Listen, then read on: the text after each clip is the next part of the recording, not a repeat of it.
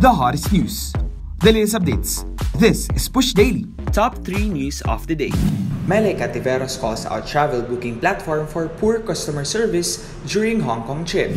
Mele Cativeros aired their disappointment at the popular travel booking platform for the poor customer service she and her family had experienced during their trip to Hong Kong recently. The Magandang Buhay host was urged to share on Instagram on Tuesday her honest review of the said app after dealing with a rude tour guide upon their arrival at the Peak Tram. Kami ng pamilya ko nalulungkot sa trato ng staff nyo na trip namin sa Hong Kong.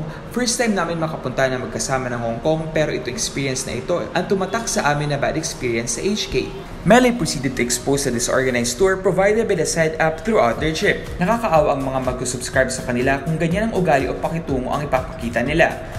Nakalagay pa sa voucher na may tour guide pero wala namang tour na ginawa nag-distribute lang ng ticket. Bago pa yan inanap namin ang meeting place, pinaglakad pa ng malayo. Kawawang mga senior citizen na kasama namin. Tapos pagdating doon, pwede naman pala dumiretso doon.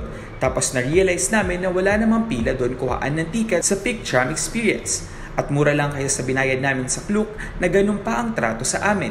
So lesson learned namin, expected na ng mga destination ang dagsa ng tourist kaya di na pila sa pagkuha ng ticket. Mas okay pa na pumila kaysa mag-subscribe dito para nagmamakaawa pa. Tapos minamadali pa kami na mas nauna kami sa kanila dun sa meeting place. Ang matagal iiwan parang ganun. Kaya kami naman paspas. Habang nag-a-announce sila wala megaphone na di rin marinig ng karamihan kasi marami kami nakaabang kaya nadismaya ako. She wrote. Mele was in Hong Kong to spend quality time with her husband, actor Jason Francisco, and their kids Mela and Stella in time for the holiday break. Dani Barreto is a blooming bride. Dani Barreto was a beautiful bride wearing a Patricia Santos gown as she exchanged vows with her fiancé Sabe Panilio at Santuario de San Antonio Parish Church in Makati.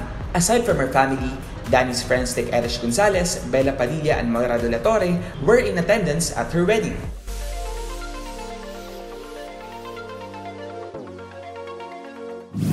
Bugoy Carino balik acting sa pelikulang sa mga sulok ng pangarap.